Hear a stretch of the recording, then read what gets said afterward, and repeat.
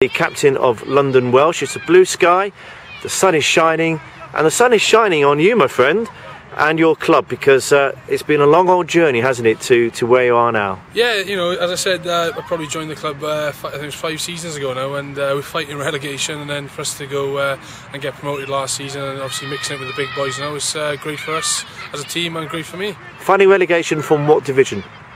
From the it was the Division One at the time, and the National League One. Then it turned into the Championship. I think it was my second season at the club. It turned into the Championship, and obviously uh, here we are now. But I mean, you were uh, even though you were the league below, you were a long way from from here, weren't yeah, you? Yeah, you know, I think when, when I first came up, we were playing. Uh, I think Northampton was in the league. I think the first season I played there, and you know they were cut above. As I think they won every game that year but the uh, the championship has really strengthened the division. You know, I think there's a lot of quality individuals that are coming out of it now and showing how good they are in the Premiership now. And uh, you know, as a club on a whole, we've really gone full circle almost. We've gone from fighting that relegation to the top division, back to fighting relegation up there now. So yeah, uh, well, maybe and maybe not. Times. We'll get on to the season in, in a moment. Now, you were semi-professional, weren't you, when you when you started out? Yeah, when we started out, uh, my first two seasons there, they were semi-professional, and then it turned uh, full time after that. So, what did you do apart from rugby? I was actually I was actually just playing rugby. I was, I was living in Neath, and I was travelling up because uh, I just just left the Scarlet. So uh, okay. I was about four or five of us travelling up from uh, from Wales, and the club sorted out with the car and uh,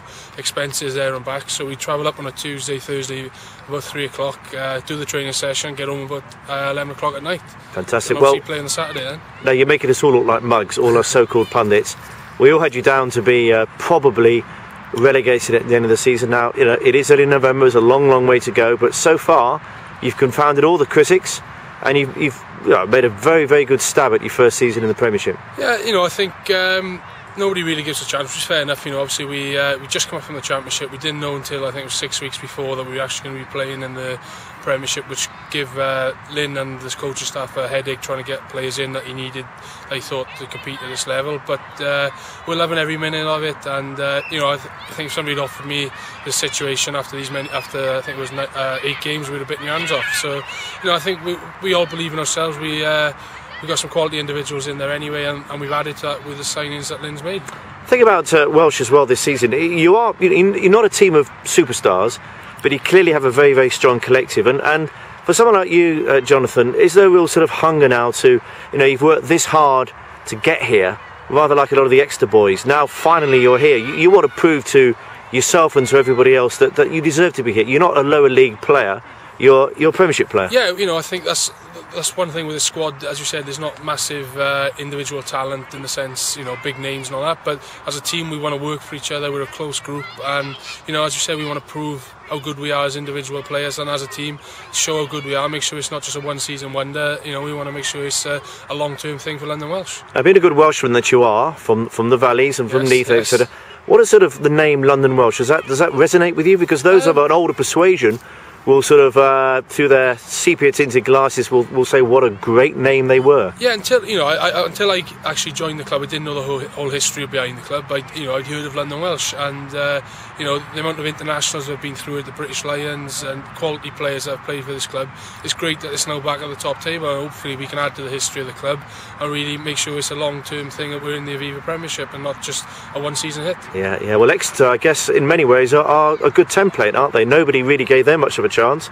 And already within two and a half seasons they are you know, very very solidly a Premiership team, aren't they? Yeah, they're a quality outfit, and you know I think they, as you said, they're the template for any side looking to come up. The first year they consolidated, made sure they stayed up, kept that uh, Aviva Premiership status, and then you know over the last season and two they, are kicking on. You know, they, as you said, they're playing the Heineken Cup rugby this year.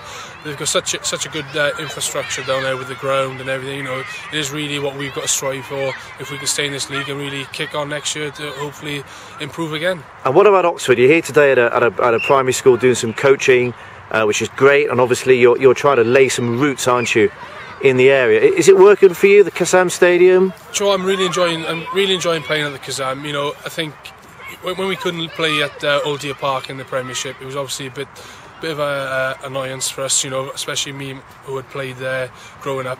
I played there for five years now, and you know, it was seen my home ground. But Kassam's a great surface. You know, the ground itself's amazing, and you know, we're really enjoying playing there. And, you know, the crowd seem to be building week in week out. And you know, if the club can survive better by coming to Oxford, that's probably the best thing that they can do. Yeah. Well, you going to stay up? Yes. Good man. Thanks a lot. No worries, mate.